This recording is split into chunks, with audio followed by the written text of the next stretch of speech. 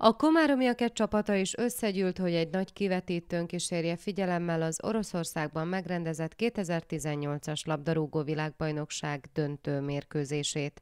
Talán az elején senki nem sejtette, hogy egy alig több mint 4 milliós ország, Horvátország egészen a döntőig eljut. A franciákkal folytatott mérkőzés végül ugyan nem nyereséggel zárult a horvátok számára, ám az Komáromban is egyértelmű volt, hogy a magyarok szíve a szomszédos Horvátország csapatához húz inkább. Voltak, akik vörös-fehér mezt húztak. Nem maradhatott el a sör sem, és annak megtapasztalása sem, hogy a labdarúgás több generációt képes egy helyre terelni, és arra sarkalni, hogy egy célért drukkoljanak, ezúttal a Csokonai Művelődési Központ udvarában.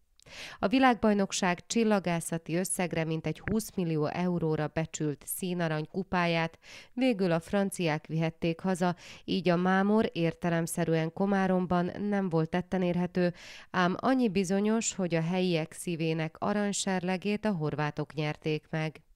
A meccs a franciák javára dőlt el 4-2 arányban.